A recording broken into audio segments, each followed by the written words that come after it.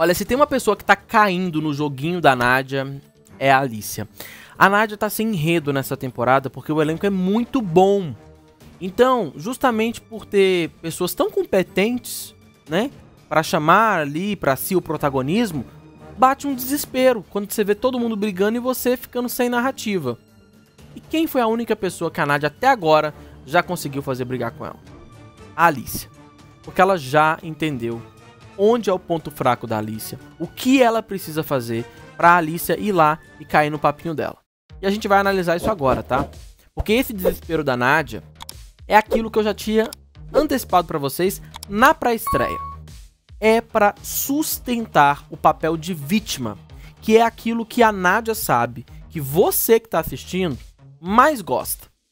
Agora eu vou perguntar para você, para você colocar aqui no espaço de comentários aqui embaixo. Você tá gostando desse jogo da Nádia?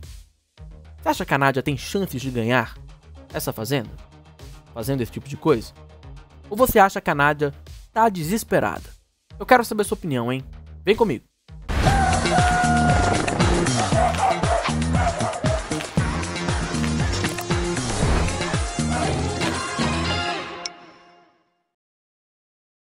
Nas redes sociais, eu fiz questão de destacar que, na minha opinião, isso que a Nádia tá fazendo é um jogo sujo. É jogo sujo, galera. Não tem, não, não, não tem outro nome, tá? E eu disse ainda que a pessoa mais burra nessa história não é nem a Nádia, é a Alicia, que dá todo esse enredo para ela. Ou a não ser que a Alicia também esteja se beneficiando com esse VT. Eu coloquei: jogo sujo. A Alicia caiu na estratégia da Nádia. Observe o que ela faz. A Nádia vai perseguindo a garota pela casa para provocar a ira da Alicia e, consequentemente, uma possível agressão, para depois se colocar de vítima da situação que ela criou e começou. A prova disso é ela falar: Olha aí, Brasil! A Nádia tá agora falando isso toda hora, tá? Veja, o meu papel aqui é sempre fazer você enxergar além daquilo que a gente tá vendo. Então perceba, a Nádia quando vira e fala: Olha aí, Brasil, ela tá interagindo com você que tá assistindo. Concorda? Todo mundo aqui comigo? Entendeu? Beleza.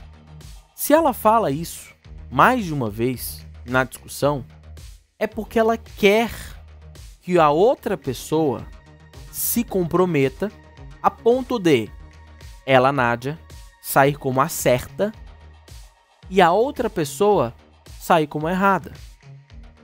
O elenco que estava na Fazenda 10 e nos realities que geralmente a Nádia participou não eram elencos, digamos, tão bons. Porque foram pessoas que deram essa narrativa para ela e, consequentemente, fez com que ela se destacasse. Bárbara Sarina, inclusive, fez essa análise e publicou o seguinte: A Nádia é muito fraca. Isso mostra o quanto o elenco dos outros realities que ela participou eram ruins. Publicou isso meia-noite e 10 nessa madrugada. E o Matt Bala comentou: o elenco engoliu ela. Ela parece que está em um papel de coadjuvante. Parece uma participação especial em uma novela. E eu coloquei: é exatamente isso. Por termos um nível melhor do elenco nessa temporada, a Nádia coringou, tá apagada e tentando aparecer a todo custo. Para piorar a situação, a Nádia começou a falar para algumas pessoas durante a madrugada de que ela tinha sido tocada pelo dedo da Alicia. E aí, essa acusação começou a viralizar. Muita gente começou a falar, como assim? E ela começou a, a, falar assim, ela, ela quase encostou o dedo em mim. Ela começou a dar a entender que a Alicia, contando a história para todo mundo, que a Alicia a agrediu. Só que veja nessa imagem que eu separei para fazer o print. Em todos os momentos, na maior parte deles, a Alicia bota a mão para trás. Por quê? Qual é a estratégia de botar a mão para trás? Você bota a mão para trás para impedir qualquer tipo de interpretação errada daquilo que você está fazendo. Certo? E a Nádia jogando baixo, jogo sujo. Depois vira e fala que a moça encostou nela. Certo? Ou dá a entender isso uma coisa chama atenção. Todo o elenco lá dentro já tá de saco cheio dessa estratégia da Nádia, não tem mais paciência para isso. Então, as pessoas não dão mais bola e deixam ela falar sozinha, para as paredes, literalmente. Ninguém tem mais paciência para esse joguinho da Nádia. Então, ela fica muitas vezes sozinha falando essas coisas. O pessoal nem dá ouvidos. Na dinâmica da Discord, por exemplo, as pessoas literalmente não estavam interessadas em ouvir o que ela tinha a dizer. Então ela falava. E aí, é engraçado, tá? Ela vai perseguindo a Alicia pela casa. E vai falando mais. Ah, que que é? Fala! Fala na minha cara. E a Alicia começa a falar: Você é vítima, Nádia. Não vou cair no seu papinho. Só que a Alicia vai se irritando, porque a Nádia vai no deboche.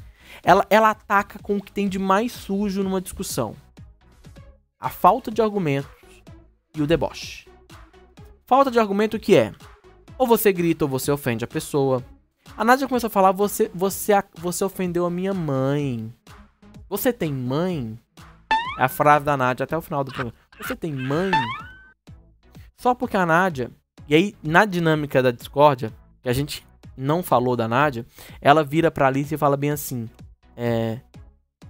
Ninguém nunca tinha me chamado de filha da gruta. Aí eu fui olhar quantos anos a Nádia tinha. Nádia tem 35, vai fazer 36 anos. Eu pensei, peraí. Em 36 anos, da existência dela, ninguém nunca chamou ela de filha da gruta? Mentiu. Tem que ser eliminada. Gente, deixa eu falar uma coisa para vocês. Eu detesto mentira.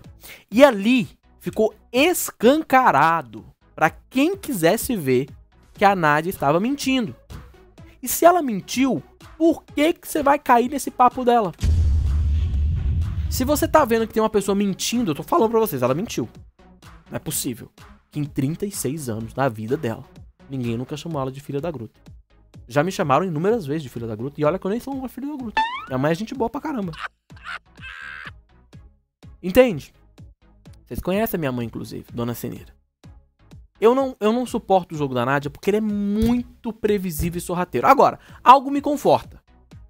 Não tem a menor chance da Nádia ganhar essa fazenda. Não tem a menor chance, né? Inclusive, eu arrisco a dizer que se ela bater numa roça, é capaz do público eliminar ela. E é o mínimo que as pessoas deveriam fazer. Sabe por quê? Porque, na minha opinião, a Nádia ocupou a vaga de alguém que merecia, de fato, entrar e mostrar um jogo novo. E segundo, a Nádia tá vindo com a mesma estratégia de anos anteriores. O mesmo joguinho. É vitimismo. É cavar o VT para aparecer na Record, para aparecer no programa. É indiscutível. A Nádia entrega. Mas é chato esse jogo dela. Porque a gente já viu. É como se a gente estivesse assistindo uma novela repetida pela quarta vez. Porque esse é o quarto reality que ela faz na Record. Ela já fez a Fazenda 10, foi, foi expulsa. Ela fez é, Power Couple com de Black, que ela terminou o relacionamento. Ela fez Ilha Record, onde ela tretou com o Self, Lucas Self. E agora, a Fazenda 15. É o quarto reality dela. Nos quatro realities, ela agiu da mesma forma. Ninguém aguenta, né? Concorda comigo? Qual é a sua opinião, hein? Alicia, não caia no joguinho dela. Ó, não esquece meu like, hein? Deixa o likezão pra nós aí. E você já sabe, o Dieguinho tá sempre atento. Qualquer novidade, eu volto aqui e comento com vocês. Amo vocês. E ó, daqui a pouquinho, às 3 da tarde, tem mais resumo pra você do que aconteceu no Bora Comentar. Fique ligado.